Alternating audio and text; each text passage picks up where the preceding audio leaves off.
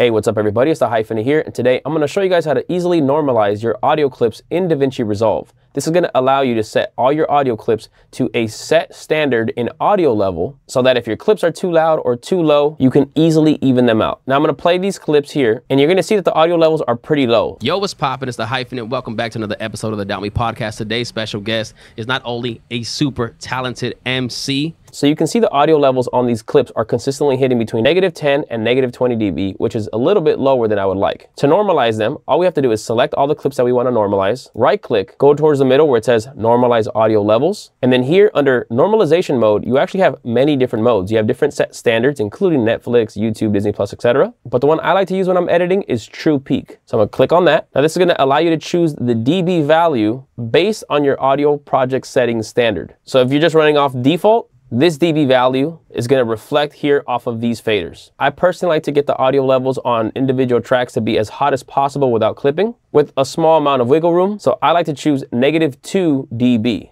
Again, keep in mind, if you hit zero or go higher than zero, that means you're gonna be clipping your audio, causing distortion. So I like to be negative two, and then you'll see here we have two different options for your set level, relative or independent. Now the way normalization works is that it'll bring the audio clips up in volume or down in volume till it gets the loudest part of that clip to reach the target level. It's not going to even out the rest of the audio in each individual clip. It just moves up or down your volume until that loudest part reaches that target level. Now here under set level, you have two different options. Relative is going to move all the clips together with the same ratio until the loudest part from any of the clips reach that target value again, moving up or down together. So if this middle clip is way lower in an audio level, I'm just bringing it down manually to give you an example, and we go and normalize these three clips, and then under relative, we choose negative 2 dB true peak, we normalize. Now it brought up the clips again till the loudest clip, which was this one, hit the negative 2 dB value. And it did bring this clip up also, but if you look at the clips under the inspector, you can go to the audio tab and then look at the volume and you'll see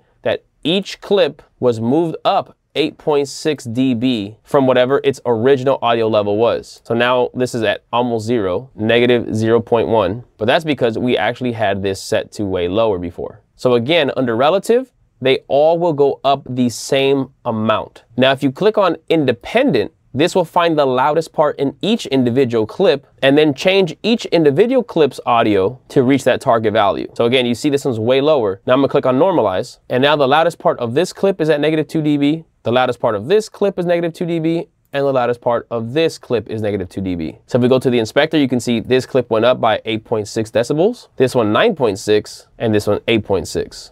Personally, I like to normalize independently so all clips reach the same target level and everything sounds pretty cohesive. So now if we go ahead and play this and you look at the audio levels, you'll see that nothing is peaking and everything is roughly about the same with the loudest parts never going past negative 2 dB. Yo, what's poppin'? It's the Hyphen and welcome back to another episode of the Doubt Me Podcast. Today's special guest is not only a super talented MC, I would consider him a good friend now. Today's special guest, Gremlin. Let's go. What's yes. poppin', bro? Again, you see the highest part it hit was negative 2 dB. Normalizing audio is actually really awesome. It makes everything just so much faster and quicker. I love to normalize audio clips to make sure I get them to a target level, whether my recording was a little low or a little high. Hopefully this video helped you. If it did, please drop a like on this video, drop a comment below if you have any questions, and please make sure to subscribe. I have a lot more videos coming soon. I'll catch you guys in the next one.